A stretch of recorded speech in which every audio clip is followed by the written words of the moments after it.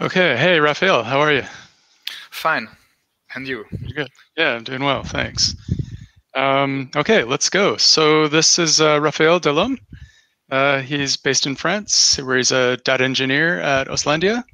Uh, so he's working on really interesting sounding projects, including the topic he's talking about today, which is the use of artificial intelligence in QGIS and a QGIS uh, plugin to help users take advantage of some of the algorithms that he's working on. So um, yeah, take it away, Raphael. I'll share your screen and over to you. Okay, thank you for the introduction, uh, John. So, hello everybody. Uh, like Julien, just before, I'm working at Oslandia. And uh, uh, me too, I will uh, talk about some raster stuffs. So it will be quite different than the pre previous pre presentation, but if you have some imagination, uh, there are some uh, bridges uh, that can be built between the, the two presentations. So we will talk about uh, artificial intelligence and some attempts to introduce such stuffs into QGIS. So this presentation will be focused on Deeposlandia, which is a artificial intelligence framework developed in uh, R&D project at Oslandia uh, a few years ago. And uh, the, the, new, the new informations are the, the attempts to introduce it into QGIS. So it, it won't be, uh, uh, it, it, it, was not so simple. And we, we just have a few problems to, to address, and I will talk a little bit about that. Uh, to finish the presentation, I will talk about some perspectives uh, to continue the, the, the works. So Deeposlandia uh, is uh, is dealing with uh, semantic segmentation. So I don't know if you're okay with this uh, this term, but we are talking about artificial intelligence. We are talking about convolutional neural network.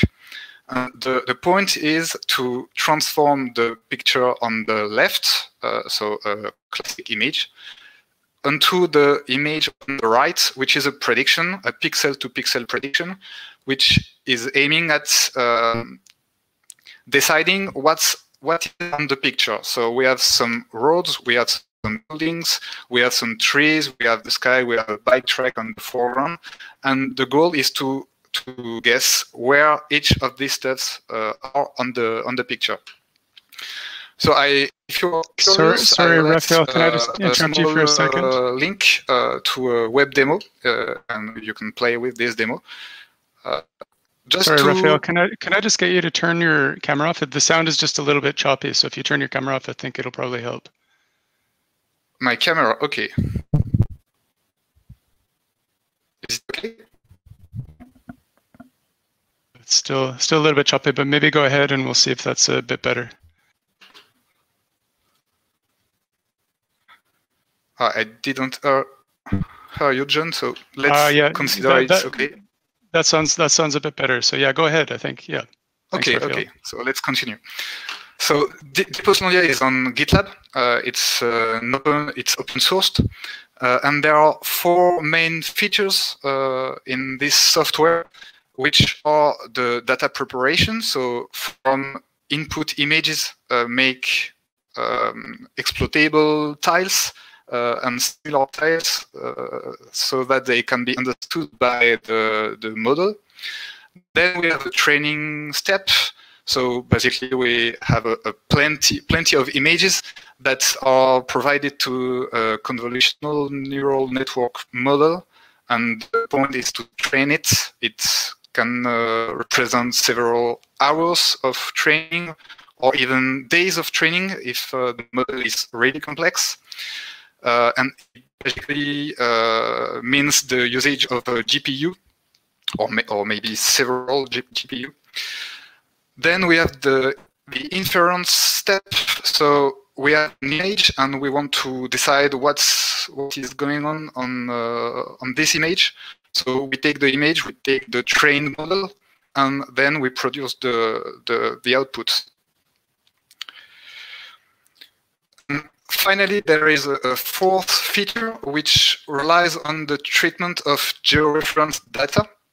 So um, basically, Deeposlandia uh, has the all other um, deep learning framework just produce pixel-to-pixel -pixel prediction, and the point is to uh, to say, well, I, I want to just represent this information into a map. To be uh, clearer uh, on this last feature, imagine you have uh, an aerial image, like on the left, with uh, building, with uh, gardens, with roads, and so on, and you have um, a research problem, which is basically uh, where are the building footprints on this image and on every other image you have on your on your disk. So the point is first to use the model to say for each pixel it's a background, yeah, or not. Uh, it's not a background; it's a building pixel. So this is the job of the model. But after that, you have to answer the second question: where to uh, where are the this building on the map, and could we produce a raster layer or even a vector layer all this information and all the, the building coordinates. So Deeposlandia do that, but the, the, the dream, uh, if I can uh, say that, is we, we, we want to do the same thing into a software like QGIS. And that's the purpose of QDeeplandia, which is a QGIS plugin, which relies on the Deeposlandia uh, API. Uh, it's also on GitHub, and it's a really uh, yeah the um, it's like a 0.1 version, so it's uh, um, a proof of, concept, uh, which uh, I can say a few words uh, starting from now. So th there are a lot of difficulties to to make uh, make it work uh, on QGIS. And the first one is the incompatibilities between QGIS and TensorFlow. So I don't know if uh, you ever tried this simple command into the QGIS Python console, but yeah, in a lot of systems, it doesn't really work. So I have a small uh, a small video. I don't like the live demo like Julian just before, so I am more conservative. Uh, I tried to open uh, QGIS to open the Python console and just to type import TensorFlow. And as you can see, QGIS is just crashing when I uh, I'm doing so. So that's uh, the, the, first problem, and that's the most important problem um, in the in the, the, original target. So a few years ago, I, am now on Ubuntu 20.4. Uh, a few years ago, it seemed to work on Ubuntu 18.4 and overall with TensorFlow in version 1. And now TensorFlow is on version 2 and it changed a lot of things. So two years ago, uh, I did a little benchmark. A feed, uh, I catch some feedbacks in the QGIS issue tracker, and it was uh, supposed to be only a Python dependency tree problem.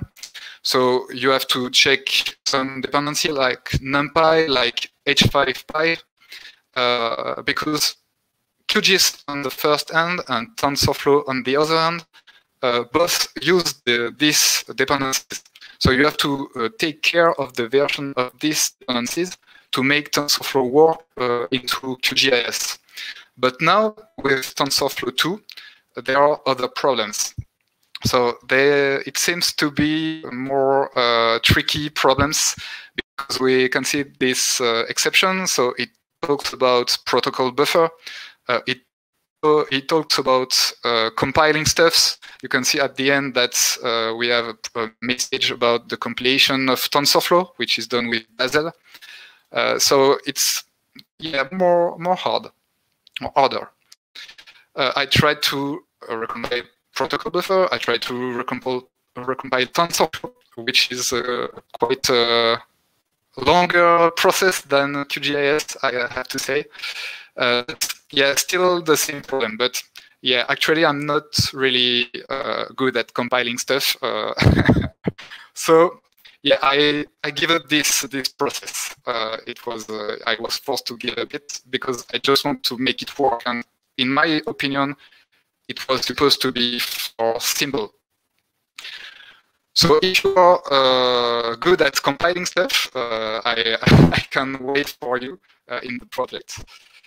Uh, but yeah, let's focus on the uh, short-term uh, objective. I, I, just want to work because it's a proof of concept, and I just want to have some demonstration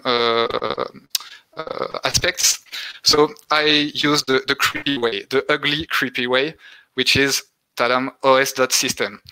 So Deeposlandia uh, comes with a command line inter interface. So I, I can do this into the, the source code of the, the plugin. But yeah, it's, it's not really satisfying for now, but let's say a good objective could be to overcome this, this aspect in the, in the future. So with this uh, workaround, uh, we can demonstrate some, some features. I will focus on two separate features, which are the generation of uh, an exploitable datasets. So it's, uh, it's related to the first feature of uh. And the second feature is uh, it is uh, sorry the inference of a raster image uh, to produce a vector layer. So it's a combination between the infer inference feature and the post-processing feature of Deeposlandia. Uh, I will show you some, some results so gathered with the Tanzania dataset. Uh, so this dataset was released during the last FOSS4G conference uh, in Tanzania. And the point was to detect um, to detect building footprints, and the, the building could completed, they, uh, they could be unfinished, or they could be uh, foundations. So there are 30 images, uh, but that's not really the point. We just focus on, on, a, on a small sample. Um, so to illustrate uh, both features of uh, QDeeplandia, uh, I will show you how it works. So it uh, mainly QGIS processings. There is the processing for data generation and the processing for inference. Uh, on this uh, video, you can see a small clipped image, which is uh, a specific layer of the QGIS project. And starting from this layer, we can uh, produce some tiles on the, on the um, file tree.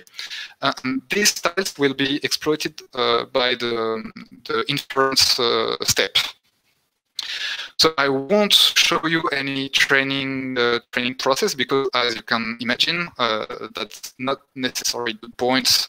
it's not necessarily a good idea to train the deep learning model on uh, QGIS instance. Uh, so let's continue directly to the, the inference uh, processing. So we still have our clipped image. Uh, we can try to into the inference. Uh, there is a small progress terminal, which uh, illustrate the fact that the, the, the, the inference process is, uh, is going on. Uh, in terms of uh, inferring time uh, on my computer, that was around uh, uh, half, half a second per image, per tile. and on this small example, there was six tiles, there were six tiles. So let's, this is a three seconds for producing the output layer in, in yellow. Uh, so with this uh, this building. With a little uh, bigger example, so this bigger clipped image is around 38 hectares. it represents 288 tiles, and we can see that the the model uh, produced uh, some some uh, green buildings, so that's finished building. There is a small unfinished building on the at the bottom, but no example of foundation there. So the the outputs looks like close to the OpenStreetMap uh, raster, which is quite satisfying. But yeah. Um, some words about the perspectives uh, of this work, uh, and that's maybe the, the most interesting uh, aspect of the presentation. Uh, the the we have to take some some yeah to sh shed a, another light to to to the project. Um, for me, and I hope uh, it's the same for for you. Uh, it's a fascinating topic, uh, bridging the gap between artificial intelligence and Q, QGIS and in GIS in general. That that's pretty cool but that's also really challenging. So in terms of packaging, of course, but also in terms of artificial intelligence uh, theory and, uh, and practices. Uh, I'm more and more convinced that geodata is really good at bridging the gap between both uh, topics, especially when you consider semantic segmentation problems and especially when you deal with aerial or satellite images. So it's still a, good topic, uh, but uh, there are clear limits to, to address and to overcome, uh, especially when you're on a 100% local architecture. So it's the mess in terms of packaging. Uh, maybe uh, there are other solutions to do better maybe Docker, uh, maybe designing a, a, good Docker, maybe considering cloud uh, solutions. anyway, apart from the packaging, uh, it's clear that you won't train your model on your small laptop, especially if you have no GPU at all. So it's more like you have a QGIS, you get a train model uh, in, uh, I, I, don't know how, but you have the, the, the, chance to have such a model or to train uh, such a model in another uh, computer. And uh, yeah, it, it, can be good, but the, the training step uh, still have to, to, be, to be solved. And to, to generalize, um, this is, as I said several times, it's still um, um, proof of concept. Uh, there are some new features to add, uh, so we have to clarify the the scopes of Deeposlandia and the scope of QDeeplandia with respect to Deeposlandia. Uh, there are some uh, improvements that can be done in terms of uh, considering um, georeference data. And uh, of course, the, the biggest part, it's really the um, improving the, the, quality of the solution and improving the, the packaging. Uh, it's still an unresolved, uh, an unresolved uh, issue. So I guess it's more work, and we have to still to have more ideas to, to uh, what can be done uh, in this situation. So it's kind of a, a dream of a, the dream of an engineer, maybe to to do such stuffs into into Q, uh, QGIS uh, to do uh, artificial intelligence in this context, but may, maybe we have to consider uh, what was the what is uh, a good scenario of usage uh, of such a tool. Will the user um, train their, their model in such a way? Yeah, I guess not. But will they use such tools for infer? maybe. Will they need to to exploit some uh, cloud solutions? Will they do everything on their own computer? Yeah, there are, this is still an open, an open question. So maybe just pick uh, on the technical state, state of the art could be uh, could be uh, uh, a good a good way to, to, to begin to process. So that's all for me. Uh, I have no slide of uh, question uh, and so on, but I will still be pleased to, to answer uh, question if there are. Okay, thanks, Raphael. That is really cool. That's like, uh, if it, it feels like uh, really cutting edge stuff you're working on there. So thanks for thanks for sharing that. Um, we have a couple questions from the audience here. So one person's asking um, if it would make sense to put Deeposlandia in Orfeo Toolbox or some other image processing application. Um, actually, I'm not really sure about the fact that Deeposlandia um, is an addition uh, of Orfeo Toolbox. Maybe the scope of Orfeo still cover is still covering uh, the Deeposlandia one. So maybe it could be. Uh, the, the, the la my last point was to just check if they are complement. Uh, they can be complementary. Complementary. Yeah. yeah. Okay. Um, another person's asking if integration of random forest would be possible.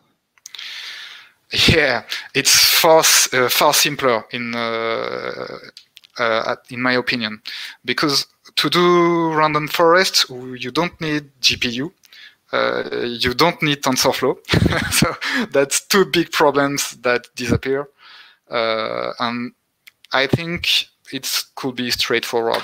You if you want to take advantage of the state of the art, state of the art open source libraries, you will uh, consider um, uh, scikit-learn, for for instance, and uh, my my uh, yeah I, I, guess it will be far simpler to to use that. But i never try so I, am not sure but i i think it's good. Okay. Um, somebody else has asked, so the biggest challenge of creating a QGIS plugin that can perform machine learning operations for identifying constructions and others would be the lack of integration with some libraries like TensorFlow. So there, there's a lack of integration with libraries like TensorFlow, I guess. Yeah, uh, if uh, yeah, if I want to to be um, yeah, if I want to um, to say a, a big world, a big word. Sorry, uh, I would say The, the, the integration of TensorFlow is a problem uh, just without QGIS. so right. it, it's a really big, big uh, software. Uh, it's hard to compile, uh, and its integration in in in itself is a, comes with a, a, lot of problems. So yeah, it's a problem. Maybe doing the same with uh, alternative uh, libraries could be a solution.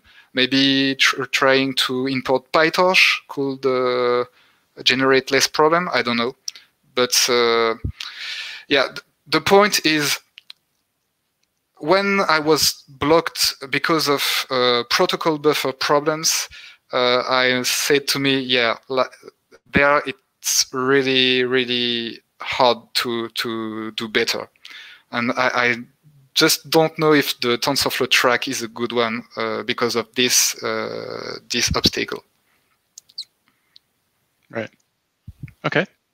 Um, and yeah, just to just maybe wrap up with, I, I, have a, I have a general, more general question. Like, so this feels like some really cutting edge, uh, um, early days stuff that you're working on. But um, you know, if you can maybe look into the future a little bit, what, what does it look like for an ordinary QGIS user to be, like, what, what, what is somebody in five years' time, what is an ordinary QGIS user going to be doing with this kind of work, do you think?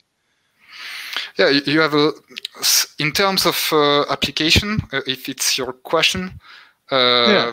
you in the example I showed uh, just before, you have the example of um, um, trying to uh, looking for the building footprints, but you can do the same thing for for uh, crops, uh, cultures. You can try to decide where are the uh, yeah, I, I, am thinking right now uh, to a, a funny uh, a funny example. in France, there is an application. I guess it's the for, for collecting taxes. Uh, the the question is where are the swimming pools and uh, right. do the swimming pool are declared by the owner of swimming pools and recognizing the with aerial images where the swimming pools are could be of interest for such users. Um, and for a, a QGIS user, uh, I guess the solution is not to to improve pain with uh, deep learning model and training stuffs and yeah. I, I, guess the point is we have to uh, provide uh, the, the way to train a model uh, without any pain uh, so maybe through the cloud maybe uh, we have to uh, provide a solution to just uh, do inference uh, in an easy way. So that was the purpose of the, the QGIS plugin. Uh, and at this point, it it could be could be okay, I think. Very cool. Okay, well let's let's leave it there. So thank you very much, Raphael. That was a really interesting presentation, and um, yeah, that that wraps up this session. So yeah, thanks again. Okay, thank you for listening to the presentation, and thank you, John, for sharing. Okay, yeah, my pleasure. Thanks, Raphael. Talk to you later. Okay. Bye-bye. Okay, so that wraps up the session. Um, I think the next the the next thing is a plenary session in the Milena Liebman room, a keynote session with Nisera Wanjiru Kimani talking about data colonialism in communities, uh, starting on the hour. So um, enjoy that. And yeah, thanks for joining the QGIS session, everybody. Thanks a lot. Cheers.